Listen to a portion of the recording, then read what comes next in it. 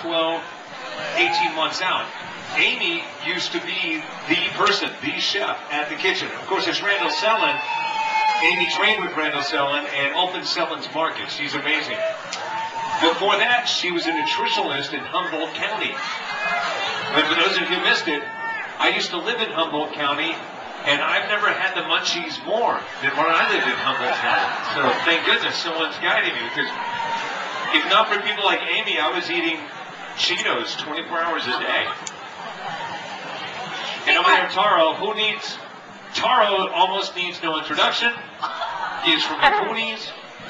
And I don't, I don't think he has any feeling left in his fingers. Did you see him moving the meat around, playing with fire? All the way, right? Taro, you're asking me.